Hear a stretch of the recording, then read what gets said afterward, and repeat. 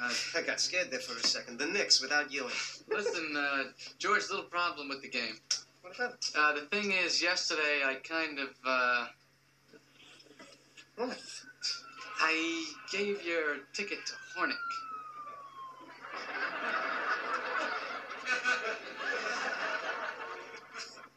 What? Yeah, I- I'm sorry. I had to give it to Horneck.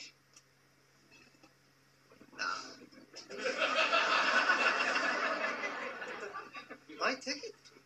You gave my ticket to Horneck? Come on, come on, go ahead, move up. What did you give him my ticket You for? didn't see him. It was horrible.